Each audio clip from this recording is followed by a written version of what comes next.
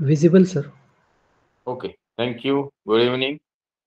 Uh, this is our 40th lecture, and last time we had covered up uh, covered one constellation, and then we had some bit of Viva sort of. Today also we can go in the same mode. But, uh, let's see. So let's go for the presentation first. We'll start immediately. See, today being 40th lecture and we are little behind schedule. Uh, this is acknowledgement that I take everything from internet. We will Libra constellation that is Tula sun sign we have covered in lecture number 39. Today we will be covering Bhutas constellation in Marathi Hindi. It means Bhutap. Actually, it is some sort of a quadrant. So it's basically a meteor shower from this particular um, constellation is also called is Now other some messier objects in that we will see. We'll have some brief MCQ again just to keep you updated and just keep me updated about how much study you are doing. Let's go. So this part we have already seen many times. What are constellations, sun sign, nakshatras we have covered. This is some long back what we used to refer this particular sky. Now this is something which we talked about in September. Here what we have is this is this particular constellation today we are going to see and this give a second this is that constellation i'm talking Arcturus Swati नक्षत्र वाला तो ये है भाई Bootes अभी ये हम देखने वाले हैं ओके? ये हम जो स्काई देख रहे थे, अगर वो सितंबर का है तो दो सितंबर गया सितंबर से अक्टूबर अक्टूबर से नवंबर नवंबर से ऑलमोस्ट दिसंबर तो तीन महीने में ये काफ़ी ऊपर आया होगा। तो ये इसका अगर साढ़े सात बजे का था तो अभी अगर आसमान में देखने जाएँगे तो ये ऑलमोस्ट सर के ऊपर रहेगा। सर उससे भी ज़्यादा it is it must be going towards west की तरफ़ था सॉरी सॉरी मैं कंफ्यूज मैं गलत बात कर रहा हूँ। ये जो सितंबर में था तो वो इस तरीके से करते करते करते अभी वो उसकी विजिबिलिटी हम आगे चेक करेंगे। Now let's go to the next slide this is the sky again सितंबर यहाँ बूटस में दिखा रहा था। ऑलरेडी सी ये हम बात कर रहे थे, जहाँ पे वो और वेस्ट की तरफ़ चला गया। तो ये अक्टूबर की बात थी।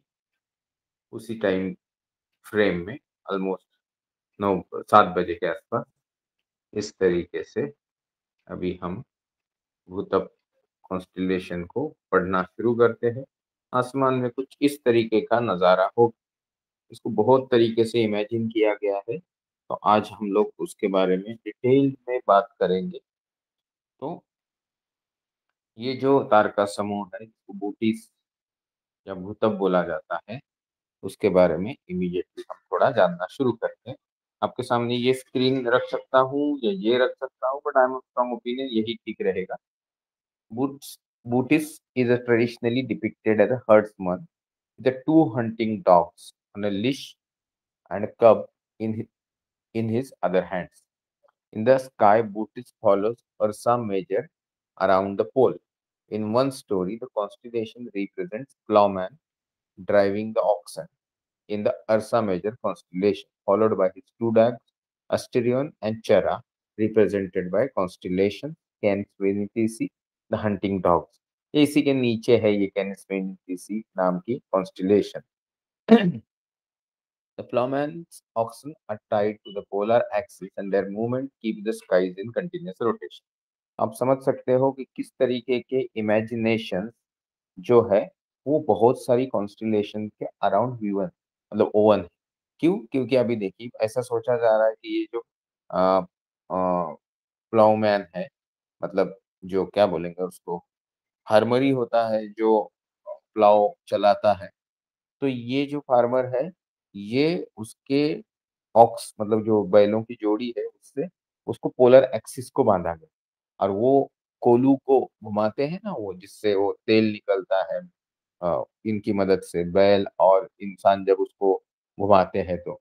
तो उस तरीके से ये जब घूम रहे हैं तो because of that continuously skies continuous rotation में है ऐसा एक अजम्पशन इमेजिनेशन कवि कल्पना एग्जिस्ट करती थी। Most commonly Bootis is taken as a representation of Arcas, that is, son of Zeus and Callisto, daughter of the Arcadian king Lycaon. Arca was Arcas was brought up by his grandfather, the king, who one day decided to test Zeus by serving him his own son for the meal. अभी ये थोड़ा complicated और थोड़ी wild story है कि भाई किसी को किसी को टेस्ट करना तो जीव जो है मतलब देवों का अधिपति प्रमुख उसको टेस्ट करने के लिए किसी राजा ने उसी के बेटे का मांस उसको खाने में परोस दिया। ओके, अभी ये चीज़ उस महा मतलब गॉड को या जीवस को समझ में आई। तो Zeus however saw through the Lycaon's intention and transform the cruel king into wolf अभी ये उल्फ वही है जो हमने उस दिन वाली लिब्रा के पहले जो हमने कॉन्स्टिलेशन देखी। उस कॉन्स्टिलेशन में जिस उल्फ की हमने बात की वो यही था। तो हम वो and struck down all his son with the thunderbolt and brought Arcas back to the life अभी ये एक स्टोरी अभी इसी से जुड़ी हुई ज्यूस की wife Hera having heard of her husband disloyalty transform Callisto into bear मतलब असवल। Callisto roamed the woods until years later she met her son, who was now grown up. Arcas didn't recognize his mother and began to chase her. Callisto hid herself in a temple where he could not hurt her without risking being convicted for defiling a sacred place. To avoid a tragedy, obviously, Zeus intervened and placed both of them in the sky. Callisto as the Ursa Major and Arcas as the Bootis. अभी ये स्टोरियों का कोई अंत नहीं but मैं आपको बताना चाहूंगा क्योंकि अभी almost skies are getting clear तो आप स्टार गेजिंग वगैरह बहुत सारी जगह पे, अभी मैं फेसबुक पे या व्हाट्सएप पे किसी ग्रुप को देख रहा था तो they have purchased Mumbai star gazing ऐसा कुछ ग्रुप का नाम है शायद। तो 14 इंच का टेलीस्कोप उन्होंने लाया। तो ऑब्वियसली हमारे 6 इंच के 5 इंच के टेलीस्कोप से जो दिखता है, उसके कंपैरिजन में 14 inch will give you very very clear ऐसा बोलना सही नहीं होगा बट शुरुआत हमेशा इंच आठ से ही करनी चाहिए। पहली बार चौदह इंच का देखेंगे आप तो अगली बार जब चार पाँच छः इंच से देखना शुरू करेंगे तो आपको शायद इतना मज़ा नहीं आएगा। तो लेट्स सी कि आप कहीं जाते हो या हमारे यहाँ आके पाँच इंच वाला जो टेलीस्कोप है उससे आप कुछ देखते in another story Bootes is taken as a representative of Alcaris, a grape grower who once invited Dionysus to visit his vineyard. The god was so impressed that he Alcaris the secret of winemaking. He followed the recipe and enjoyed the beverage so much that he invited his friends to try it. However, they had never tried wine before, and when they woke up next day not feeling well, they assumed that Icarus had tried to poison them. Angry, they did away with him while he slept, and Dionysus was saddened by passing of his friends, decided to place Icarus among the stars. In another myth, Butus is credited for inventing the plow, which prompted the goddess Ceres to place him in the heaven. अभी ये इस तरीके की जो western mythology जो predominantly सब जगह हम बताते हैं इसके अलावा बहुत सारे इंडियन एंड चाइनीज़ वर्जन भी हैं Chinese interpretations are mostly quite different compared to the Western interpretation. In ancient Chinese, astronomer also placed significance on Arcturus, Swati नाम का जो तारा है उसको Arcturus बोला जाता है. They saw the star as one of the horns of the giant dragon in a large constellation that stretched from Bootes to the constellation Virgo. The full moon appearing near Arcturus was the sign of a new Chinese year. Bootes is one of the largest constellation in the sky, located in the northern celestial hemisphere, and the constellation is dominated, dominated by the kite or diamond-shaped asterism, followed by its bright star. Bright star, of course, Arcturus की मैं बात कर रहा हूँ. The constellation's name comes from the Greek word bonk, matlab Bootus, which means ox driver, that is plowman or the herdsman.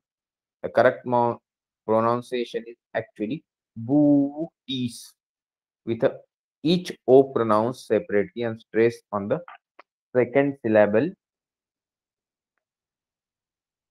Bootus was first catalogued by the Greek astronomer Ptolemy in second century. century. The constellation is home to contrasting double star Isar and Arcturus, the brightest star in the northern celestial hemisphere and the third individual brightest star in the sky. अभी वाले को brightest stars in the northern celestial hemisphere क्यों बोला क्योंकि जो कॉनोपस है, वो भी साउथ में है और जो सीरियस है, वो भी थोड़ा साउथ की तरफ़ ही झुका हुआ दिखता है आसमान में। तो नॉर्थ की तरफ़ दिखने वाला ये तारा जो है, वो नंबर थ्री पे है और वैसे नॉर्थन हेमिस्फेयर की तरफ़ दिखने वाला ब्राइटेस्ट वन है। फैक्ट्स एंड लोकेशन की जहाँ तक बात है, हमने यहाँ बहुत कुछ देखा। ऑफकोर्स जो बड़ा दिख रहा है, एक नंबर का तारा, वो आपका अर्क्चुरस है, आगे के चित्र में। थोड़ा और चीज़ दिखेगा। यहाँ पे उन्होंने फ्लावर या हर्ट्समैन जो है, वो दिखाने की कोशिश की यहाँ पे और आगे भी हम देखेंगे इंटरेस्टिंग फैक्ट कि ये जो सप्तर्षि की लाइन आ रही है, ये सप्तर्षि की लाइन अगर हम ऐसे ही एक्सटेंड करें तो इस एक्सटेंशन में आपको स्वाति और चित्रा दोनों तारे दिखते हैं। बट अभी यहाँ पे थोड़ा वो लाइट दिख रहा है, हम उसमें नहीं जाते, आगे देखिए ये मैं बात कर रहा था कि अगर ये बूटिस है, या प्लाउमैन तो ये उसके दो कुत्ते हैं, जो कैंस नाम से पॉपुलर है। तो ये आपको दिखाने का था। तो ये पुराने जमाने के चित्र है, जिनको उस तरीके का, एक तरीके से इमेजिनरी पिक्टोरियल रिप्रेजेंटेशन कहा जाता है। यहाँ पे एक इंटरेस्टिंग चीज़ है कि अगर मैं बोलूँ कि ये जो है क्रतु क्रतु कुलह ये जो आपको मैं सप्तर्षि दिखा रहा हूँ क्रतुकुल पुलस्य अत्रि अंगिरा वशिष्ठ और मरीच। तो ये सात तारे, एक, दो, तीन, चार, पाँच, छ, सात। तो ये जो सात मैंने दिखाए क्वेश्चन मार्क की तरह, इनको मैं ऐसे खींचता हूँ। तो यहाँ पे वो अर्क्यूरस है, जो स्वाति है बूटस कॉन्स्टिलेशन का योग तारा और यहाँ पे चित्रा मतलब स्पाइका तो ये इस तरीके से आपको स्वाति और चित्रा पहचानने में सप्तर्षि मदद करता है। I hope it is clear to ये सप्तर्षि का सॉरी एक, दो, तीन, चार पाँच, छ, सात। फिर हम आए नीचे, ये एरो इस तरीके से गए। फिर ये है आपका अर्चुरस फिर उसको आगे एक्सटेंड किया। तो ये है आपका चित्रा स्पाइका तो ये मैं आपको बताने के लिए सॉरी ये मैं आपको बता तो इस तरीके से आप उसको रिकॉग्नाइज कर सकते तो टेम्परली फिर मैं अंडू कर देता हूँ, ताकि ठीक है, okay. Now we come to that international astronomical union के जो नाम है, उनमें आ जाते हैं। यहाँ पे आपको दिख सकता है कि आर्क्यूरस की साइज़ जो है, वो काफ़ी बड़ी है। कंपैरिजन में जो एजर है, वो आर्क्यूरस सॉरी आर्क्यूरस से एजर काफ़ी छोटा है। और यही उसके जो प्राइम ईटा है, ये दो चार बड़े तारे तो ये चीज़ को देखने में हमें ज़रूरत पड़ेगी कि इसमें कौन से कौन से तारे हैं। उसके पहले फैक्ट्स और location of this particular map की बात करें तो Bootes is thirteen largest constitution in the night sky occupying an area of approximately 900 specifically 907 square degree. It is located in third quadrant of the northern hemisphere N Q three. And can be seen at a latitude between plus 90 degree and minus 50 degree. The neighboring constellations are, मैंने बोला था वो जो दो doggy है Canes Venatici and Coma Berenices Corona Borealis Draco Hercules Serpens Virgo Serpens Caput मतलब दो हिस्से है सर्पेंस के ऑफिकस के लेफ़्ट वाला और राइट वाला। Virgo Ursa Major Bootes belong to the Ursa Major family of constellation along with the Camelopardalis, Canis venetici, Coma berenices, Draco, Leo Minor, Linux, Ursa Major, and Ursa Minor. Bootes has got five stars with a known planets and does not contain any Messier object. The brightest stars in the constellation is obviously Alpha Bootis called Arcturus, Marathi Hindi में जिसको स्वाति बोला जाता है स्वाति नक्षत्र भी है which is also the bright third brightest stars in the night sky. There are three meteor showers associated with the constellation Bootes. एक जनवरी वाला है एक जून वाला है और एक क्वाड्रेंटिडिस ये इनके बारे में डिटेल में हम पढ़ेंगे ही क्योंकि आज ज़्यादा कुछ हमको पढ़ना नहीं है तो लेट अस सी कि और जानकारी इसकी क्या है स्टार्स के मामले में यहाँ हम देख ही रहे हैं ओके बूटिस कॉन्स्टिलेशन में सच यहाँ जो दिखाए गए हैं, ये आपको थोड़ा बड़ा कर दिखाता हूँ। इनके, ये जो दस एक तारे यहाँ दिख रहे हैं, इनके नाम जो इंटरनेशनल एस्ट्रोनॉमिकल यूनियन ने अप्रूव किए हैं ओके अल्कालोपोरस अर्कालिस अर्चुरस एजर मरगा मफ्रीड नेकार निकिवीव सेगिनस एंड स्वेंजे ओके विश्वेंजे की ज्वेंजे मुझे इनसेट प्रोनाउंसिएशन नहीं पता है। स्टार्स में आर्क्यूलस जो अल्फ़ा बूटीज है is the third brightest stars in the sky brightest stars in the northern hemisphere and it has got apparent magnitude of minus point zero four it is often listed as a fourth brightest star मैं भी इतनी देर तक आपको third third बोल रहा था but fourth इसकी वजह से कि behind Alpha Century Alpha Centauri को क्यों हम लेते हैं? Because the latter is the binary star with combined magnitude of minus point two seven तो combined brightness of the Alpha Centauri is better than Arcturus and that is why तीन या चार number यहाँ पे डिसाइड होने में थोड़ा वो कॉम्प्लिकेशन पैदा हो जाते हैं। Arcturus however is a third individual bright star in the night sky followed by the Rigil Kent या Alpha Centauri the brightest stars in the Centaurus, and fourth individual brightest stars in the sky. The name Arcturus means the guardian of the bear. तो bear की हमने वो जो असवल था उसकी हमने बहुत सारी स्टोरीज शुरुआत में लेक्चर के सुनी सेकंड स्टार है बीटा तो यहाँ है आपका sorry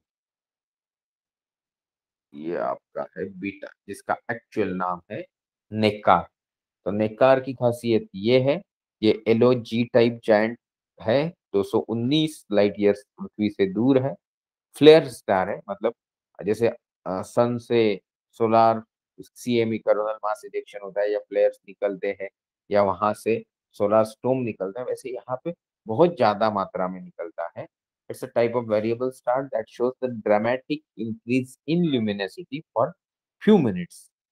The Neckar name itself is derived from the mistransliteration of the Arabic word cattle driver. Sometimes the star is also referred as a Meres. दूसरा है ग्यामा तो ग्यामा सॉरी ग्यामा इधर ही रहेगा यहाँ पे है ये जो ग्यामा है ये बूटिस इसका नाम है Seginus it's a Delta Scuti type of variable star Scuti Scutum variable star one showing variation of brightness as a result of both radial and non-radial pulsation.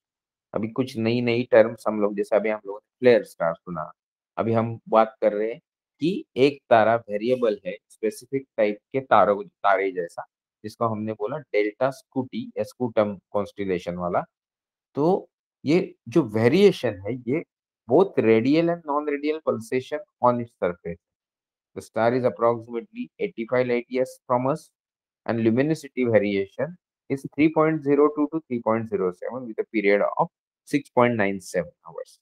अभी सिर्फ़ सात घंटे के पीरियड में जो आपको सुनने में कम लग रहा होगा 3.02 और 3.07 ये आपको बहुत कम लगेगा बट ये रिमार्केबल चेंज है ल्यूमिनसिटी में per the uh, data which is available for the serious genuine researchers of this field next is of course जो मैंने नीचे का बताया आपको आइजर ये वाला epsilon epsilon Booty-Sizer is a binary located approximately 300 light years away from us and it consists of the bright orange giant and smaller fainter main sequence star.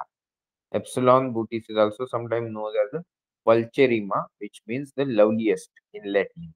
ऐसे काफ़ी नाम है। जैसे मैं मायरा की बात कर रहा था, जो ओमिक्रॉन सेटी सेटस कॉन्स्टिलेशन का है। अभी ये जो नया वेरिएंट आया है तो बहुत जगह पे आपको वीडियो देखने मिल रहे होंगे कि ये ओमिक्रॉन नाम क्यों होता है या किसी चीज़ को ये ग्यामा अल्फ़ा बीटा तो most of you know that कि हम 24 ग्रीक अल्फाबेट्स की बात कर रहे हैं।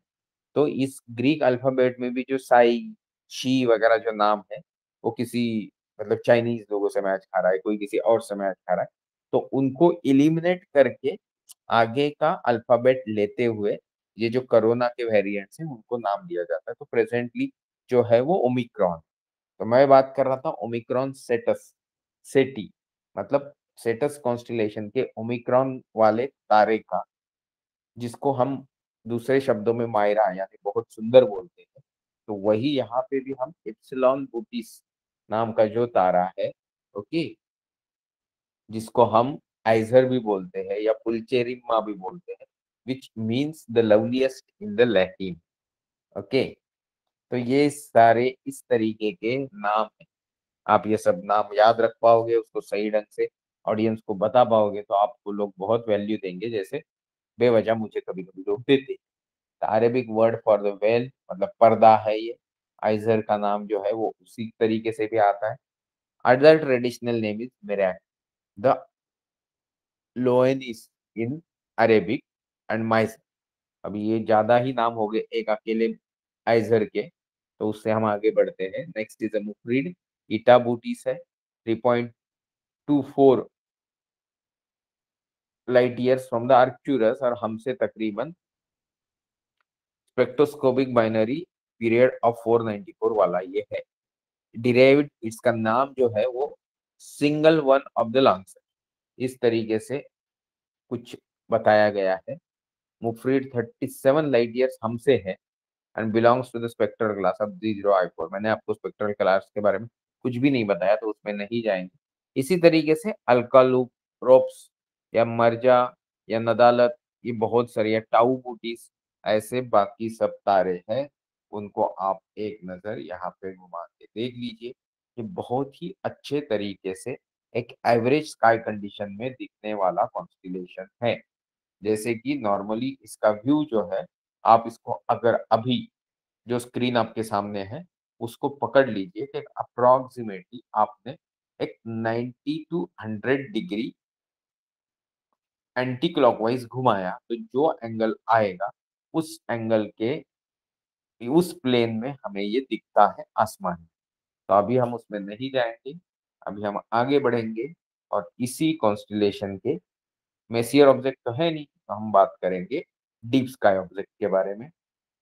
डीप स्काई ऑब्जेक्ट में पहला जो है चित्र वो है N G C five four six six obviously N G C five four six six जो आपके नज़र के सामने है, काफ़ी सुंदर तो दिख रहा है। बट वो है क्या वो जान देते हैं इट्स ऑब्वियसली विजुअल उसका जो अपियरेंस है उससे पता चलता है एक ग्लोबुलर क्लस्टर है अप्रोक्सीमेटली पचास हज़ार light year fifty one thousand eight hundred light years from us the cluster was first discovered by German born British astronomer William Herschel in 1784. It lies about 52,000 पहले 51,800 बोला गया अभी 52 माना जा रहा है from the galactic center the cluster is notable because it contains blue horizontal branch of star and is as metal poor as regular globular cluster ये जो ग्लोबुलर क्लस्टर के तारे हैं, वो मेटल पुअर होते हैं। मतलब उनके सिक्वेंस ऑफ़ लाइफ साइकिल इतने बड़े नहीं होते कि they will be able to forge metal into it normally initial elements खोज करने के बाद शायद उनकी डेथ होती होगी। Galaxy N G C five five two nine के बारे में देखेंगे, उसके पहले इस चित्र में मुझे थोड़ा ज़्यादा ही ब्लू कलर दिखा, जो वहाँ हमने ज़िक्र किया तो मैं सोचा उसको जूम कर दी। तो चलो let's go to the next अभी हम बात कर रहे हैं इसी तारीख के क्लोजर व्यू की, जिसमें आपको वो ब्लू चीज़ें जिनकी हम बात कर रहे थे कि blue horizontal branch of stars यहाँ बहुत सारे दिख रहे हैं। ओके, नाउ इसको अगर हमने देख लिया है तो हम नेक्स्ट चित्र की तरफ़ चलते हैं। Now we are talking about one galaxy called NGC 5529 it's located in the northern sky constellation of the Bootes the herdsman approximately 140 million light years from earth तो वो आप यहाँ देख सकते हैं, इस तरीके की जो गैलेक्सी है, उसके बाकी टाइम पे भी हमने चित्र देखे। अभी यहाँ बहुत कुछ है और उनके चित्र मैं आपको ठीक से दिखा नहीं पाया तो मैं उसमें जा नहीं रहा हूँ। मैं ये पिछला ही चित्र सामने रखते हुए आपके लिए कुछ जानकारी जो डीप स्काई ऑब्जेक्ट से रिलेटेड है वो पढ़ देता हूँ या बोल देता हूँ। Bootes has two bright galaxies, NGC 5248 ये एससी टाइप की गैलेक्सी है अप्रोक्सीमेटली मैग्नीट्यूड 10.2 है 6.5 बाय 4.9 अर्क मिनट्स का इसका आसमान का प्रेजेंस है and 50 million light years from the earth है, ऐसा बोला जाता है। इस तरीके से काफ़ी गैलेक्सीज इस पर्टिकुलर टाइप इस पर्टिकुलर कॉन्स्टिलेशन के अंदर आती है। बट इम्पोर्टेंट चीज़ जो है, वो है बेसिकली एक बूटस वॉइड नाम की जगह। Is also known as a great void for the or the super void, is the sphere shaped region of the sky almost two fifty million light years in that fifty million को आप convert करोगे लैक्स में तो हो जाएगा पच्चीस सौ lakh light year crore में कन्वर्ट करोगे तो हो जाएगा पच्चीस crore light years in diameter वाला एक्सपेरिकल एरिया है इस कॉन्स्टिलेशन में। यहाँ पे कुछ भी नहीं दिखता। Which contents very few galaxies it approximately location is the right ascension of forty hour and twenty minutes Declination is 26 degree.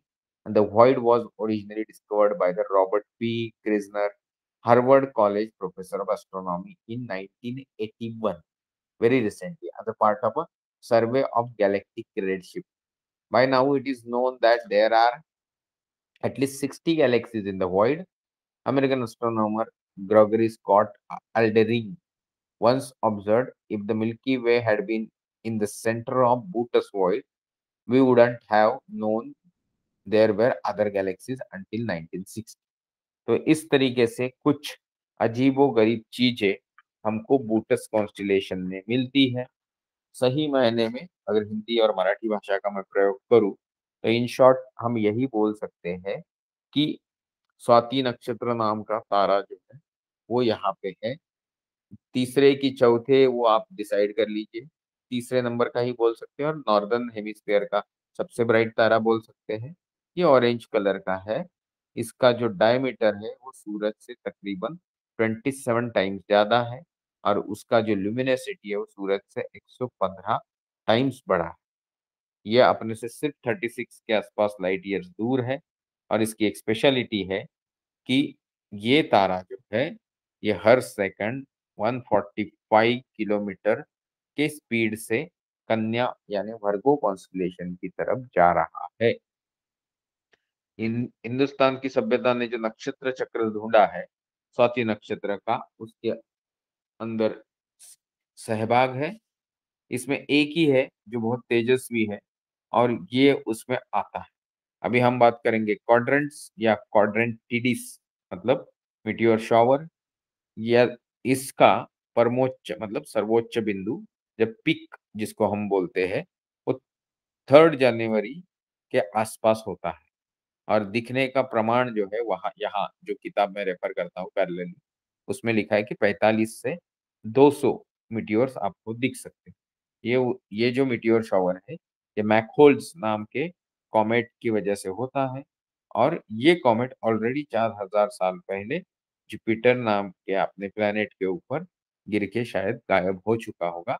या एक्सटिंक्ट हो चुका होगा तो ये सारी चीज़ें हमने पढ़ी। बूटस कॉन्स्टिलेशन के बारे में, अभी हम आगे चलेंगे और इस इस काय के बारे में थोड़ी बात कर सॉरी, दिसंबर चार तो हम क्रॉस चुके कर चुके हैं। न्यू मून था, मून का लोकेशन, उसका फ़ेज़ ऑकरेंस। यूनिवर्सल टाइम में दिया गया। दिसंबर चार को ही टोटल सोलर इक्लिप्स था, जो अपने यहाँ से विजिबल नहीं था। But through much of the South Africa Antarctica इस जगह से अटलांटिक ओशन से इसकी विजिबिलिटी का चांसेस था। December thirteen fourteen is a very very important day और ये आना भी बाकी है तो इस पर थोड़ा डिटेल में बात करते हैं। जेमिनाइट मिट्योर शॉवर एक इंपॉर्टेंट मिट्योर शॉवर है, जो सबको देखने की कोशिश करनी चाहिए, कारण मस्त है।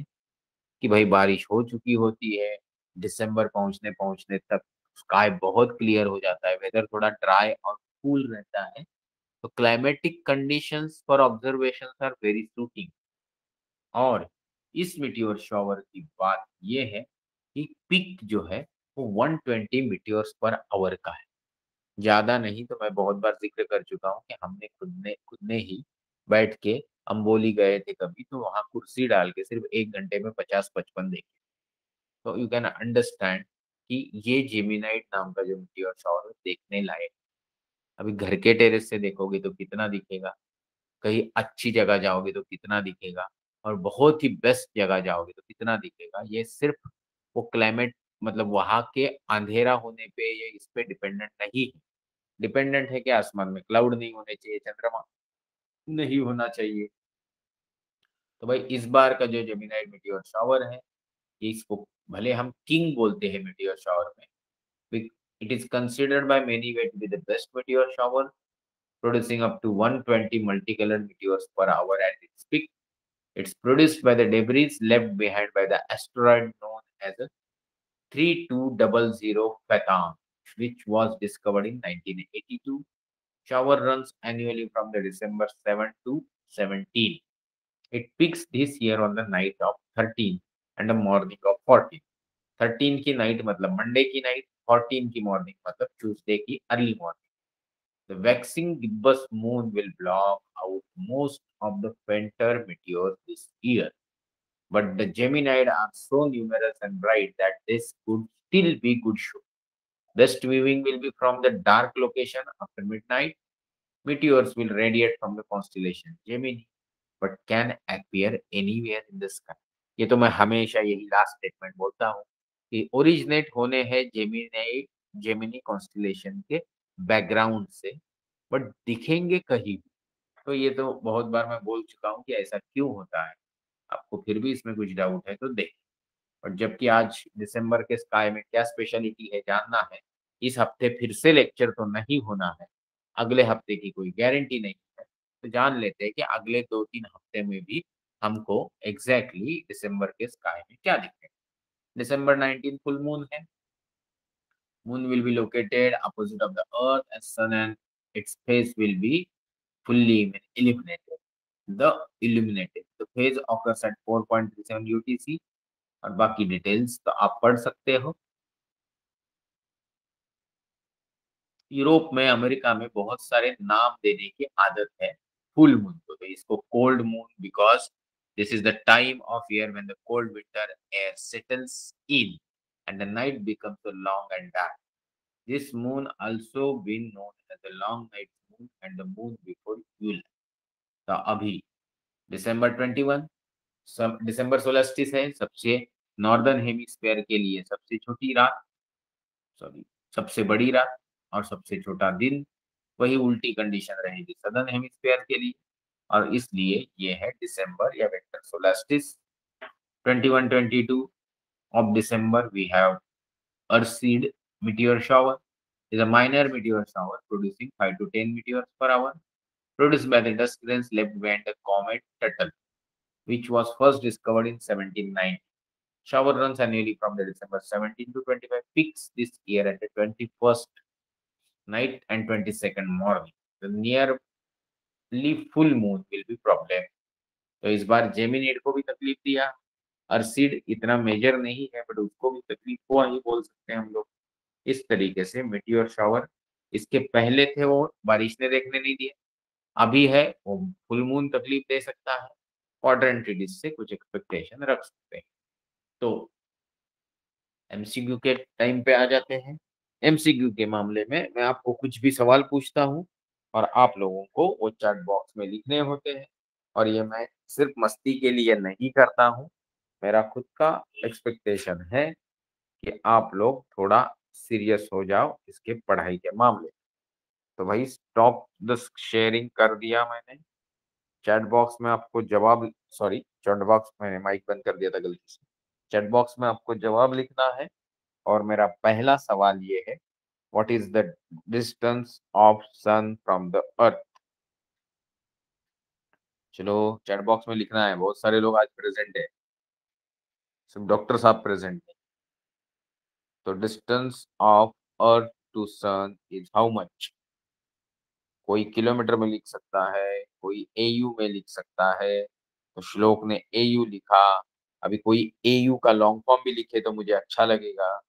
तो सवाल तो एक के ऊपर एक आते ही रहेंगे। भाई भव्य आपको लिखना है। ये जो आपने 147 मिलियन लिखा, वो लैक्स में कितना है या करोड़ में कितना किलोमीटर? एयू का मतलब भी अपने हमें बता दिया किसने? श्लोक ने एस्ट्रोनॉमिकल यूनिट तो श्लोक, एक एस्ट्रोनॉमिकल यूनिट कितना करोड़ किलोमीटर होता है, वो भी लिखो। और भाव्या, आप लिख सकती हो कि आपने जो जवाब मिलियन में लिखा है, उसको मुझे लैक्स में या करोड़ में चाहिए तो क्या लिखेंगे आप? ये सिर्फ़ आपके लिए ट्रायल हो रहा है, बाकी लोग भी ट्राई मार सकते हैं। तो सब लोग कुछ at least Bhavya is participating Shlok is participating then what others are doing सवाल तो अनआंसर्ड है ना कि ये कितना करोड़ किलोमीटर है या Bhavya one A U I G फिर कुछ आया और ये A U I G I guess okay sorry sorry sorry यार, बच्चे लोग, आप एक समझो, मैं आप लोगों के उम्र से थोड़ा बड़ा हूँ ना तो ये जो आपके शॉर्ट फॉर्म वगैरह है, ये मुझे समझ नहीं आते बट मैं I I am very happy कि आपकी वजह से मेरा नॉलेज बढ़, अरे इट्स ओके मैं सॉरी मेरी कुछ नहीं है ओके ओके फिर भी आपने वो लिखा नहीं, वन ए यू ठीक है, one A U A U A U पे घुमा रहे हो मुझे आप लोग पकड़ के।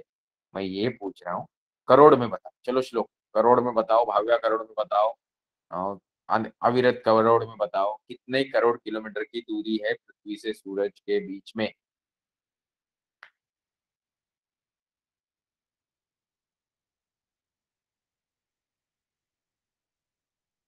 फिफ्टीन करोड़ किलोमीटर, आपके जवाब नहीं आ रहे तो मुझे बुरा लगता है। अभी मुझे दूसरा सवाल पूछने की बड़ी इच्छा हो रही है। पृथ्वी और चंद्रमा, अब ये फोर्टीन की लिख रहे हो? फिफ्टीन करोड़ है अप्रोक्सीमेटली इन्होंने लिखा ना fourteen one four seven point three nine million मतलब दस लाख, ओके? तो वन फोर सेवन थ्री मतलब चौदह सौ तिहत्तर fourteen seventy three lakhs kilometre means fourteen point seven crore kilometre that is the distance between sun अभी मैं बोल रहा हूँ कि average distance between the earth and moon कितना है? बताइए, जल्दी। आपको किलोमीटर्स में लिखना एनीबडी पूर्वा, आप एकदम शांत हो गई। व्हाट इज़ प्रॉब्लम भव्या है। बांडकर जी, आप क्यों आराम कर रहे हो? प्रद्युम्न, क्या कर रहे हो? सानिया भी प्रेजेंट है, इनको मानना पड़ेगा, वो अकेली लड़की यूपीएससी के क्लास से प्रेजेंट रहती है। बट जवाब तो देना पड़ेगा। Earth and moon correct Bhavya. तो ये इसने गूगल कर लिया, लगता है। बट एनी ट्राई करने वालों को मस्ती नहीं करूँगा मैं।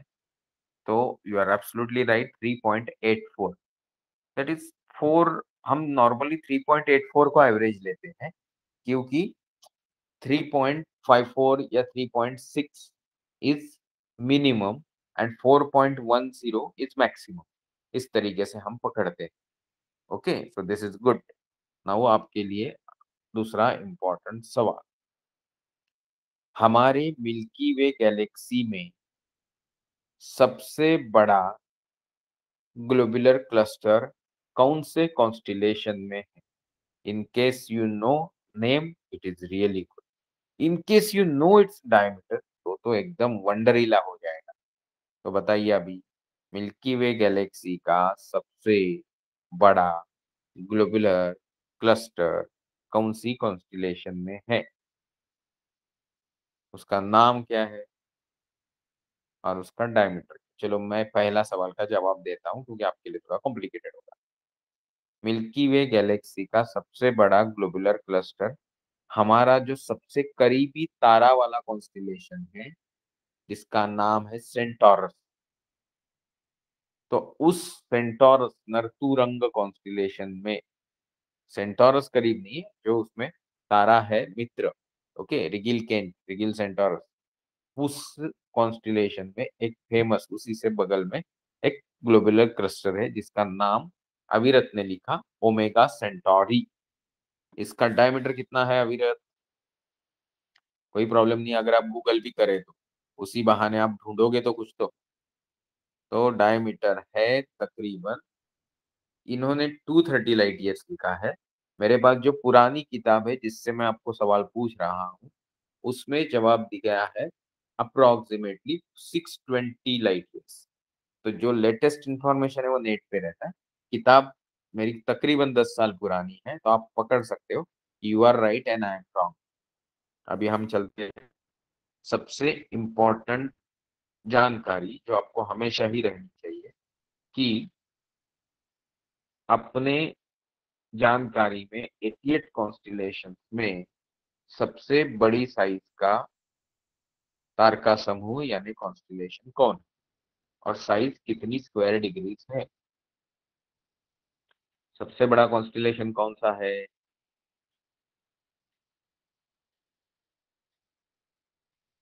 वेरी पूर्वा ने भी लिखा। अभी स्क्वायर डिग्री है वो भी चले भाव्या ने भी अभी कितना स्क्वायर डिग्री है? आप ये सब गूगल करते हो, मुझे इतना बुरा नहीं लगता बट एक चीज़ तो ज़रूरी है कि आपको ये सब याद भी होना चाहिए। Zero four square degree thirteen zero three zero four square degree तो ये आपको हमेशा ही याद है। लगे हाथ, ये भी बता दो, सबसे छोटा तार का समूह या कॉन्स्टिलेशन कौन सा है?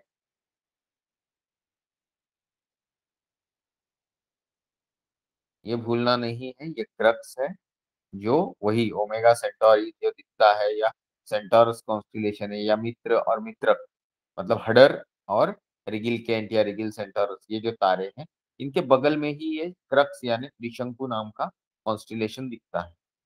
अभी त्रिशंकु की स्टोरी जब त्रिशंकु कॉन्स्टिलेशन में आएँगे तो बताऊँगा मैं तो मुझे कोई बताएगा कि ये जो क्रक्स है इसका? एरिया कितना स्क्वायर डिग्री है? तकरीबन 68 टू 669 स्क्वायर डिग्री है ओके तो 945 हो गया। अभी नए से कोई आना तो है नहीं। तो हम ऐसे ही करेंगे। We will continue like this सिर्फ़ मुझे आप लोगों से एक रिक्वेस्ट करनी थी। क्वेश्चन आंसर सेशन में स्टॉप कर रहा हूँ। मुझे ये पूछना था, भव्या किसी स्कूल में जाते हैं? बांडकर किसी स्कूल में जाता है? श्लोक किसी स्कूल में जाता है? प्रद्युम्न किसी स्कूल में जाता है? पूर्वा किसी स्कूल में जाती है? सानिया किसी आप लोग मेरा लेक्चर जो शुरुआत वाला है, वो आपके यहाँ अरेंज कर सकते हो टीचर को बोल के। चाहिए तो मैं जो एक मैसेज है, वो कौन सा मैसेज है, वो मुझे आप रिक्वेस्ट मैसेज भेजेंगे तो मैं आपको फॉरवर्ड कर दूँगा जो आप टीचर को भेज सकते हो। इसमें मेरा कोई स्वार्थ नहीं है, मैं यही चाहता हूँ कि बच्चों को एस्ट्रोनॉमी या साइंस की तरफ़ झुकाव हो। इसके अलावा अभी लॉकडाउन वगैरह खत्म हो गया है even all of you will prompt कि, सर, इस दिन हम लोग स्टार गेजिंग करने की कोशिश करते हैं। तो you all are most welcome to my residence पर प्लानिंग आप लोग ही करो। मैं आपके लिए प्लानिंग जानबूझ के नहीं करूँगा, क्योंकि फिर ऐसा लगता है कि मेरे घर पे कुछ इवेंट है और मैं आपको इनवाइट करते रहूँगा। आप आ रहे हो क्या? आप आ रहे हो क्या? कहाँ तक पहुँचे? तो ये सब चीज़ें मुझे थोड़ी डाइजेस्ट नहीं होती। तो कंबाइंड आपका ग्रुप है व्हाट्सएप ग्रुप डिसाइड करिए। मेरी कुछ मदद चाहिए तो बोलिए। एक काम मेरे लिए आप करेंगे कि आपके स्कूल कॉलेज में मेरा लेक्चर ऑर्गेनाइज करिए। दूसरी चीज़, वो यूट्यूब लाइव और गूगल मीट के माध्यम से होता है। दूसरी चीज़ कि आप ऑब्जर्वेशन करना चाहते हो तो हम यहाँ पे रख सकते हैं। रही बात थर्टीन के जेमिनाइड मिटियोर शावर की, वो थोड़ा कॉम्प्लिकेटेड है, क्योंकि फुल मून है बट फिर भी आप अपने इसलिए मेरी तरफ़ से कोई प्रॉब्लम कि सुबह उठ के मुझे ऑफ़िस जाना होता है तो रात को देर रात रात तक जगूँगा तो it will be difficult for me फिर भी you have some plans you can prompt me so, this is the time to say goodbye. Thank you very much for your oh sorry, so there is some question. But i live in mankur Mankhurd से आपको एक दिन पनवेल के आगे मेरे घर आना है, क्योंकि मैं तो डेली आता हूँ अणुशक्ति नगर, पूर्वा। तो मतलब मैं डेली अगर ऑफ़िस के लिए अणुशक्ति नगर आ सकता हूँ आप ज़िंदगी में एक बार तो मैं जितना ट्रैवल करता हूँ डेली उतना तो कर ही सकती है। इसमें कोई बड़ी बात तो है नहीं। और वैसे आप बच्चे बहुत छोटे नहीं हो, और वैसे भी आपको अकेले ट्रैवल करना ही नहीं। पेरेंट्स के साथ ट्रैवल करना है। तो प्लानिंग करनी ही है। एवरी प्रॉब्लम का सिर्फ़ एक्सक्यूज नहीं हो सकता। एवरी प्रॉब्लम का अगर कुछ एक्सक्यूज है तो कुछ सोल्यूशन भी एग्जिस्ट करता है। आपको एक अच्छे सोल्यूशन पे जो ऑप्टिमम बैलेंस रहे प्रॉब्लम्स के साथ एक अच्छी चीज़ों के साथ तो उसको आपको सिलेक्ट करना है। So if anybody has got any doubt you can post it here or else आप मुझे पर्सनली भी व्हाट्सएप मैसेज कर सकते ओके चलो then today it is time to say good bye good night thank you very much for your presence tata bye bye you can now leave the class thank you bye bye